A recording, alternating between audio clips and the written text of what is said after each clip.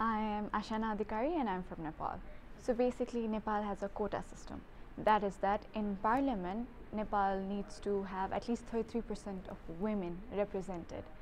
But having said that, even though we have 33% representation, that does not equate to the women having substantive representation, which means that they are only there for quantity rather than quality. Male MPs in Nepal say that women should talk about women issues, but if they are not supportive of the issues that is for women, how come women can pass bills for them?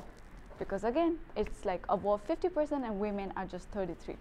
In parliament, rather than just saying that there should be women, there should be different category of women that should come in to talk together about a specific issue. And caste system is highly dominant in our country.